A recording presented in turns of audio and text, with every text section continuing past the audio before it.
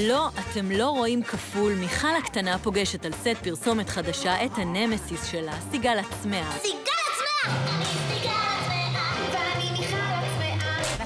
מצחיקות, משלימות אחת את השנייה, אה, אותו צבע שיער, אה, אותה עדה.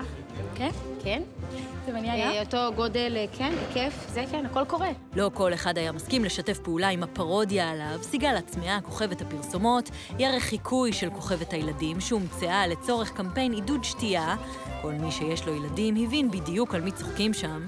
ומרוב משחקים לא שתיתי טיפה מיכל הקטנה נתנה למפרסמים אישור שימוש בשיר שלה, אבל לא ידעה שהכפילה שלה תככב בפרסומת. שאת רואה כאילו משהו שהוא כל כך דומה למשהו שאת עמלת עליו המון המון זמן ופיתחת אותו. זה לא העליב אותי, אבל זה היה נורא נורא אינטנסיבי. זה באמת, זה באמת לא העליב אותך?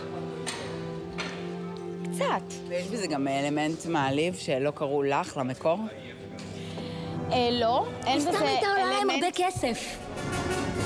כפעולת תגמול לחיקוי, מיכל העלתה תמונה באינסטגרם הפרטי שלה של בקבוק מים מינרליים, הפוך מכוונת הפרסומת שהיא דווקא לבר המים של תמי ארבע.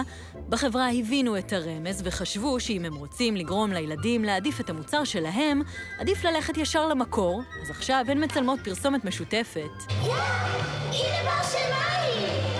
את עדי חבשו שמשחקת את סיגל ראיתם אולי בתאגד, מבולבל. או עושה חיקויים בתוכנית של גורי אלפי. היום היא מקבלת שיעור פרטי ממיכל, שחונכת את סיגל ברזי המקצוע. איזה דגשים היית נותנת לה? עליי? כן. אה, החיוך הקיצוני, שהוא מרוח כל הזמן.